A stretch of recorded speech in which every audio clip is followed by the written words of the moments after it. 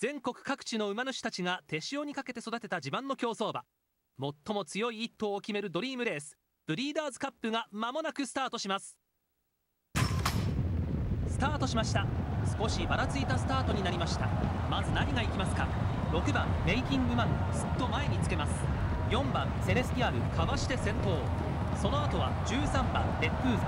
18番コーマンがいます。後位につけています。各馬1コーナーを目指します。内抑えて7番スカーレットキング。9番ミレニアムマシリカ。外から14番キングダービー。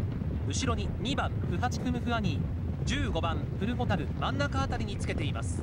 内側10番ニッキーポッキー。少し差が開いて8番アトラスリク。これからバックストレッチに向かいます。外を抑えて12番ニッキーゴト後ろに17番ラスタバナナ。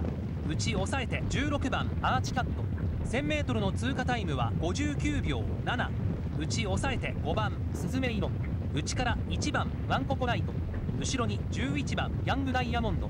最高峰は3番ドンダーブモア。各馬冬の東京競馬場を駆け抜けていきます。ここから先頭までは10馬身以上。先頭変わってレックーザ。後ろに18番トーマンがいます。4番セレスティアル後位をキープ。7番スカーレットキング。18頭大欅の向こうを駆け抜けます。外を抑えて9番ミレニアムバシリカ1番人気6番メイキングマンがこの位置。後ろに14番キングダービー。4コーナーをカーブし直線コースに入ります。歓声が大きくなって直線の攻防。400を切って先頭レックーザそしてセレスティアル。セレスティアル。かわして先頭。セレスティアル。先頭迫るレックーザあと200レックーザ足色は衰えない。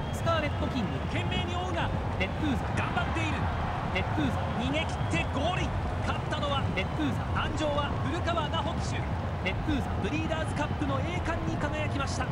2着スカーレットキング。3着ミレニアムバシリカ。